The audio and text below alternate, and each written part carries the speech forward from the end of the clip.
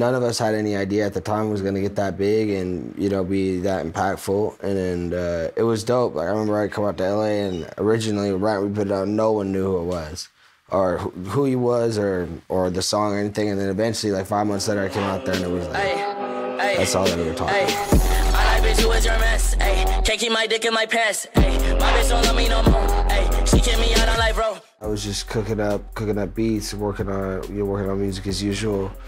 And I uh, did the collab with Rojas uh, originally for Richie P, and then it ended up being recorded on by XXX Tentacion, being Look at Me, and then just became what it is today.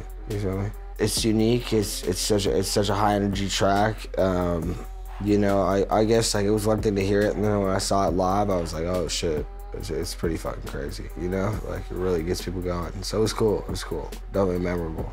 I mean, you know, we were we were never super close, but you know, he was my friend, and uh, I, you know, I was with him at a lot of shows, and uh, you know, you know, it's just it's just tragic. Uh, you know, had a lot more plans to do cool music with him, and uh, it's just it just sucks. He's it's like feels like the the good ones die young, and in that case, it's just like it's crazy because you'd think it'd be so many other people or something. I don't know.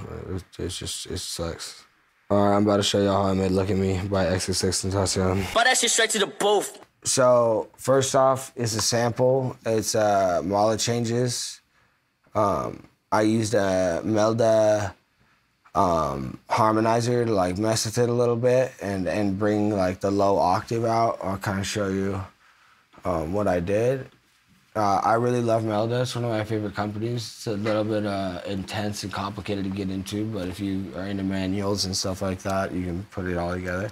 Um, so you can see that this this band here is the the peak band of the original sample, and then the green one behind it is going to represent what the harmonic spectrum looks like after it comes out of this plugin. So this is actually shifting something down without anyone knowing it. Like that's why I say I screwed this sample down because I'm not actually screwing it. I'm shifting the formant, which is like if I'm on piano and I play like this C has a little of this C in it, right? So if I was going like this, if I started going like that, I'd be increasing in formant. Like it's not pitch, it's just like the volume of the octave over the over the harmonic spectrum. So this just kind of shifts things down without them realizing like this is without it. This is with it. And it kind of turns into a male voice, you know? And then after that, I have a, a Neve preamp to just kind of bring some color out. Um, I have a little little boost at uh, seven seven thousand, a little pull at uh, little dip at twenty two, uh, at two hundred twenty, um, and I cut all the low at one sixty and did a little boost on the highs. You can kind of hear the with and without. That's without. That's with the harmonizer, and that's with the Neve. You can hear a big difference with the Neve. Um, yeah, I love Neve. And then over here uh, on the drop,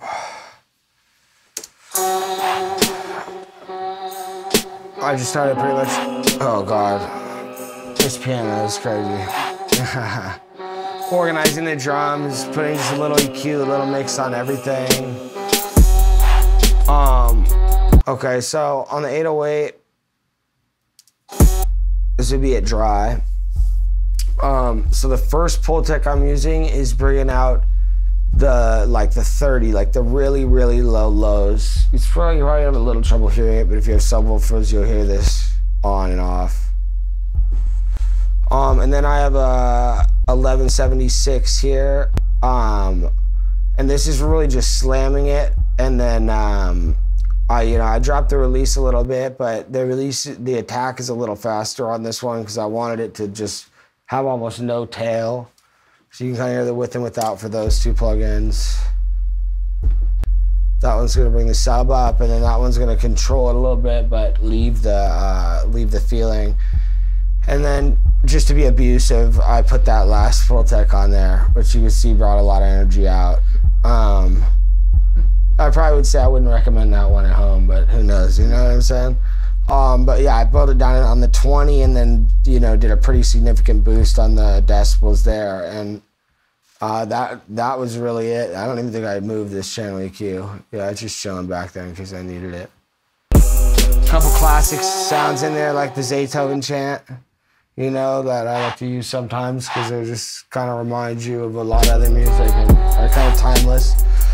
Um, a crash. This little open hi hat.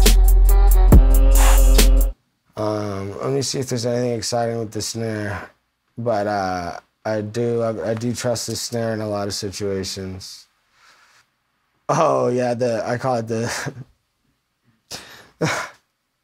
the this is not not not good, but I call it the Bill Clinton snare, and I call this one the Monica edition.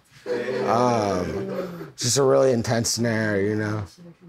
I mean, I love to name my samples really, really, uh, you know, odd things. So that's that snare, and that's with the other snare. Um, and yeah, I just layered them, and that was it. You know, like on the master. I mean, it was distorted a little more later, but on the master, I just have two limiters to just kind of give it like that heavy feel. Um, yeah, it's a pretty simple beat, a little bit of a controversial beat, but here it is. You know what I'm saying? This is uh, Jimmy Duval, and this is how I made "Look at Me" by XXXTentacion, and I'm in the cut with ProducerGrind.